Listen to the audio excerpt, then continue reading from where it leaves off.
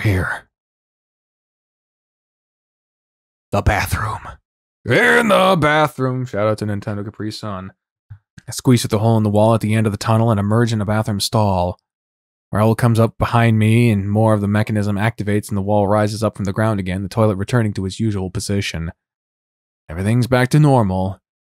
It's almost kind of creepy. Um, with the door still locked, it's very, very cramped. While the stall looks like it was made for a larger species that probably didn't take multiple people into account, Raoul's practically got me pinned against the door. Not that I mind terribly. Uh, I'm sorry, would you mind getting the door? I can't reach the lock from here. Of course, uh, just let me. I take my time trying to find the doorknob on purpose, but he doesn't need to know. Come on, Lou's like rotting now. He smells good. Come on, you fuck. That ought to do it. Thank you. Raven 3, we've touched ground in the men's room. Over. That is good. If possible, try to stay hidden from enemy. Then engage in ambush. We're gonna fight guys with weapons? That is accurate assessment. You do want to save friend and Miss Fenna, do you not? Normally I would suggest avoiding combat situation, but that is not always option. Alright. Not sure I'll survive this, but I have to try.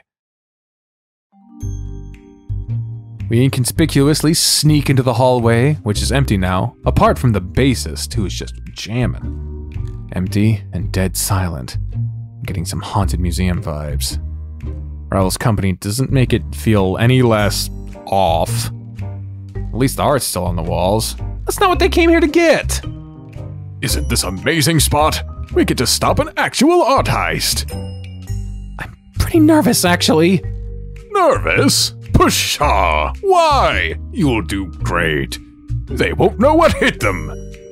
Aren't you scared? At all? A true hero of justice trusts in his abilities, his tools, and his companions. We have everything at our disposal to win this. Just stick with me. I'd be lying if I said his ludicrous amounts of confidence aren't at least a little infectious. But maybe he's faking this thing just as hard as I am. He beckons me down the hall and I follow. Every noise I hear makes me jump and I aim the grappling gun at every shadow I see. Eventually, Raoul sidles up on a corner and I crouch down next to him. Alright, most of this junk ain't worth no trouble, Polly. I know that voice all too well. Been in my nightmares all week. Fucking love Polly, though. Speaking of hips, goddamn, Polly. Peek around the corner to see the Barracuda standing next to the parrot janitor from before. Guess we weren't the only ones to change clothes. The junk ain't why we're here, Ishmael. Right, we be here for that spotty straggler. You talking about me? I want to say something, but Raoul shushes me. No shenanigans, Captain only wants him tossed out. Figure I can have a little fun while we be at it. Got a mighty score to settle. If the captain gets cross, you'll be on your own. A risk I'd be willing to take. You did say he ran starboard, didn't ye, matey? Right as rain, he did. Down the hall, then starboard. Are you sure he didn't? Are you sure you didn't mess up your directions again, Ishmael? Starboard be left, correct? Starboard be right, ye fool. It be left! Right! Left! Right! oh, these two. Concern it, why can't we just say left and right? This is why you still be a cabin boy, and I be the captain's right hand man. Fucking Polly. What a jackass. Don't you be, don't you mean, starboard hand man? Raoul slowly crouches and beckons for me to follow. fucking jackasses. Starboard, starboard hand. Fuck.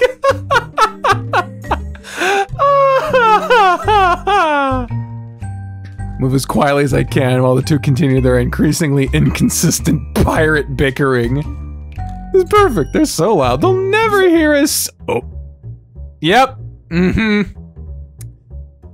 Ah, the voice thing. Of course. Strive of Life is the most recent work of renowned painter. I don't fucking know. Oh. what deity did I anger to deserve this kind of bad luck? Raoul and I take cover behind the corner again. Mm-hmm. The outer, uh, the audio tour voice is so loud the fish and parrot duo immediately look over to the painting. Did ye do that, Ishmael? No, I don't think so. It depicts the struggle between nature and machine. Make it stop! I don't know how! Raoul beckons me, jumping out from behind the corner. They still got their backs turned to us. Oh! Halt, evildoers! I swear on me bones, this is the last time I be taking you anywhere. Like he be any fun to take around. The boss, sir. The boss clears his throat. I said halt, evildoers! Yeah, yeah, can it wait for a bit? We be in the middle of it. You! You're the fucker I'm, uh, Eby the landlubber from the store!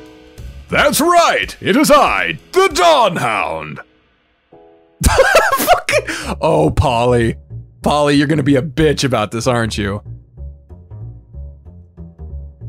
Be for real. Fucking. Uh, the pirate burst out laughing. This be the man ye sent ye home crying, Ishmael. Throwing pirates overboard is a little hobby of mine. Well, ye won't be so lucky this time, sailor. Ye may be rather large and have muscles larger than a frigate Looks Raoul up and down. and be rather handsome. But it'd still be two against one. Raoul pulls me out of the shadows, and all of a sudden, I'm staring down two extremely dangerous and most likely armed men. They stare at me like I'm some sort of oddity. Dusk has come to. Uh, dusk has come! I flex, judging by the looks on their faces, it doesn't particularly impress. Great entrance spot. Go ahead, say your posing needs some work. Try something like this. Strikes to pose himself, while I maintain uncomfortable eye contact with the parrot. This one wasn't here last time. Really? You. With the spots and the. You know what? Clark Kent got away with a pair of fucking glasses. Let's just. It's fantasy! They have a two for one at the freak store. Funny. I was about to say the same thing. How many curtains did you need to sew together that pirate getup? Oh my god! Oh, holy shit, Polly! Polly, you are sensitive. Jesus! At least mine ain't made out of rubber, you scallywag! Jesus. Holy hell. Polly. Polly, you're sensitive. Takes a deep breath and slicks the feathers on top of his head back. No, happy thoughts, Polly. Happy thoughts, calm as the waves. Barracuda turns to him. To hell with the waves! What are you waiting for, Polly? Let's get 'em! Now, now, you know how I feel about getting me nails dirty, Ishmael. I just had myself a mani-pedi, and my psychiatrist said He does have really pretty nails. He does. I wanted to say that. Let's show them off. There you go. Nice. And here I thought you were a bird of paradise or whatever the seven seas you call it. Turns out you're just a big chicken. What did you call me? A chicken! Your friend there has a point. That's it! I've had it! You want violence? I'll give ye violence! Oh! Oh! Raoul get with the fighting pose! Hell yeah! Come at us, fiend! Oh, they're gone. Nah, they're coming at us. The parrot charges forward with a screech that could shatter glass. The barracuda hot on his heels. Oh, let me get my mouse activated just in case there's a quick time event. God, I hope not. Okay, Spot, let's knock some heads together. Easy for you to say. What do I do? I could not be less prepared for this if I tried. Think, Al, think. True hero trusts his tools, his abilities, and his companions. Oh, Raoul enters a fighting stance. I aim my grappling gun down the hall, just past them. Hope this works. I squeeze the trigger and immediately surge forward as the hook speared into the wall. Dusk strike! Don't announce your shit! Tuck in my legs, only having a second to regret the choices that led me here before kicking the two thieves as hard as I can.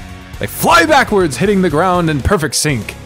Unfortunately, I haven't figured out how to stop this thing yet, and soon I follow smacking into the wall hard. It, it, they told you! Just release it with the fucking whatever. Ow! Spot, are you okay?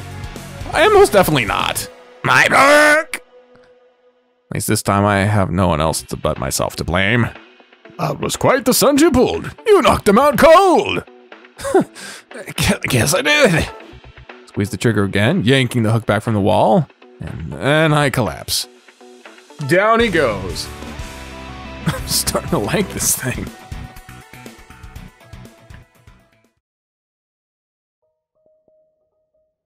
Oh.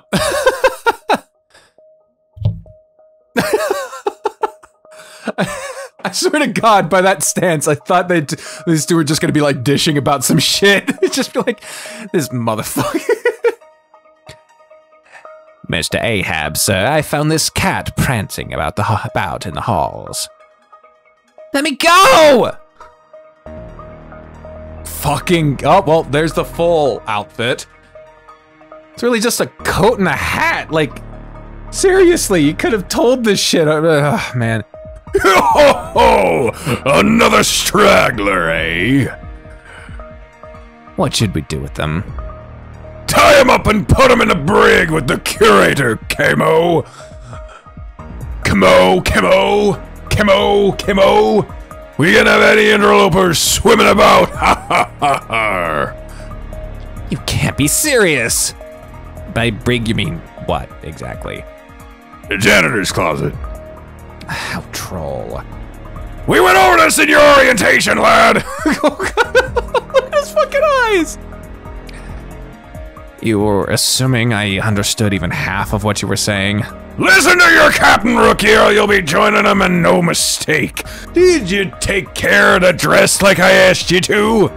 Oh yeah, the dress isn't even back there now. Oh! Notice how uh, Lou said the dress looked different?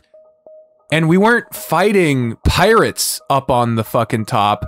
I bet fucking Camo, I'm, I'm saying the name wrong on purpose there. Camo was like, but Camo switched the dresses so that Camo could get the fucking dress, the real dress, and trying to pawn a fake dress off on the Pirate Syndicate.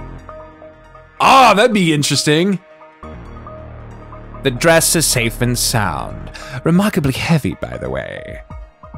If you think I'm putting up with any of your shit, it would be in your best interest to comply, cat. Oh, what? I have seven children waiting for me back home and they have sharper teeth than you. As a matter of fact, I can do far worse than. Oh. And. Dawn! Dawn has come to vanquish the night! The jig is up, Ahab! Let the civilian go! As I heroically dash, or well, attempt to dash into the scene, I come face to chest with the very large janitor from before. So you can recognize that. Will it happen in reverse? Except he's somehow wearing even less this time. Then it hits me. You're Ahab! I turn to Raoul. Th this is Ahab? In the flesh, laddie! You be just in time to join this mutineer here in the brig while we ascend, abscond with the poxy gown. Poxy gown. Not if we have anything to say about it, right, Spot? Big, well, man. Huge, pale man. Spot? Honestly, as far as experiences go, big man hitting on me and turning out to be a supervillain isn't the worst thing that's happened to me. I could work with that. I can fix him, God damn it. God damn you. God damn you with your fixing him thing. Spot. Right, I guess I'm here to kick his ass. His round toned, beautiful ass. Spot! Right, right.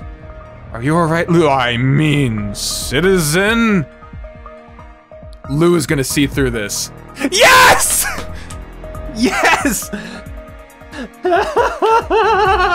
Lou, you fuck. That's awesome. Al, is that you under there? Yeah, no, it's just Dusk Hound, the champion of justice. Why are you wearing? What is that? Is that a collar? It's my uniform, citizen. Uniform? You look like a clown. I have to agree with your companion. Your choice of fashion, and I use that term lightly, leaves much to be desired. I mean, let my friend go, villain! Quite frankly, you look like you fell down a flight of stairs at a thrift store and hit every bargain rack on the way down. Oh! Oh! Ooh! Ooh! Ooh! Mmm! Oh, god damn! That's kind of harsh. I'm being constructive here, but you may want to shop elsewhere in the future for all our sakes. God damn! God damn, man! Lou, you might want to duck. We lock eyes for a second before they dive out of the way, leaving plenty of room for the barrel of my grappling gun to connect to the chameleon's head. Ow! At the very least, it causes him to let go. Oh, oh, oh, oh, oh, oh my. That was a lot that happened all at once. Clutches his face and dramatically spins in place. You increte! You hit my nose! And the surgery scars just healed. I tip my muzzle toward Lou. Fetch the curator and get out while you still can, citizen. There's trouble, blur trouble brewing. Alex, whoa, it dinner, you'll cause a scene. Right, right, I'll head off. Just stay safe, okay? You know how bad I am following it. The what voice? What the fuck? Powerful hands grip my shoulders, and the next thing I know, I'm flung through the air head first. I have a split second to question my life. Like, there's a lot of questioning phrases, questioning your life, or things that led up to this, or whatever. I want to diversify those phrases before my sudden flight is rudely interrupted by the Rottweiler I crash into. Ahab has interrupted this scene. Hate to break up the touch and moment and all, but our ship's about to sail, and we have no use for stowaways. Last thing I hear is the chameleon's chuckle echoing through the gallery. Oh, that face.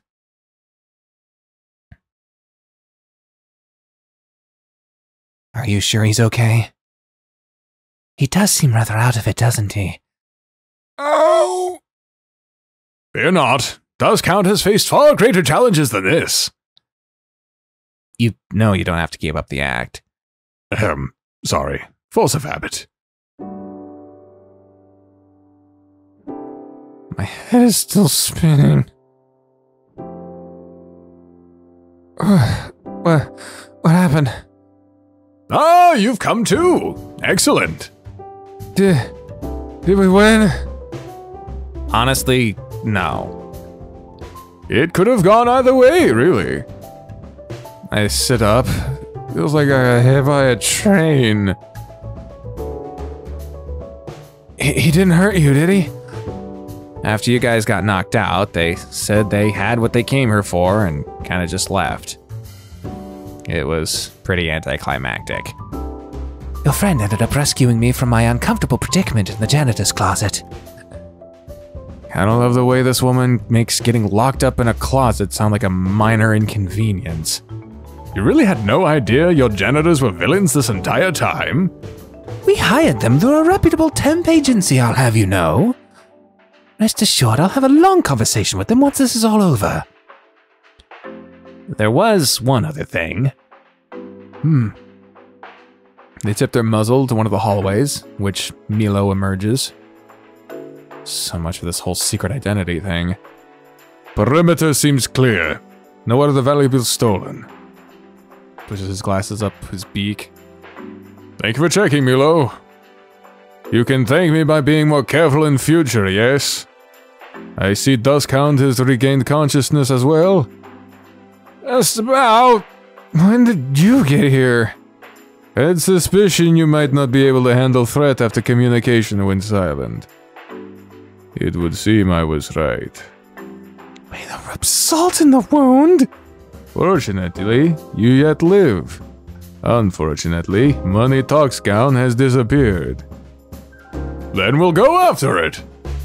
Do not be so hasty. Attacking Syndicate without plan is much like hitting head against wall. Repeatedly. You will only end up with headache. Then how do we get the gown back? Only our exhibition simply cannot continue without the star of the show. We have to get it back somehow. We will go after dress, but we will prepare and approach mission with caution.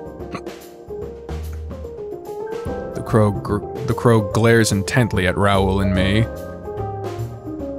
Where did you meet these guys, Al? It's a long story. Milo turns to Lou and Fenna, his expression much softer. We will tell you another time. We have objective to complete. He takes a bow. Can you get back to safety from here? I'm pretty sure I can make it across the street. I'll accompany you. I could use a bit of fresh air. Great. I'm sure Willie still needs someone to blow balloons. Balloons? Oh, have you never been to the Han? Can't say that I have, but I'd love to join you. It sounds fascinating. All right, I'll catch you later, Alex. Good luck, Mr. DeRoy, and be careful. Lou looks back at us as the two of them walk away, confusion and annoyance playing on their face. I know that look. They're gonna grill me something fierce. So much I wish I could say right now, but I do have a job to complete. A job we messed up royally. Once they're out of sight, I turn back to Raoul and Milo. So, how are we gonna find the syndicate now? Fenna's gonna have our hides if we don't get that dress back.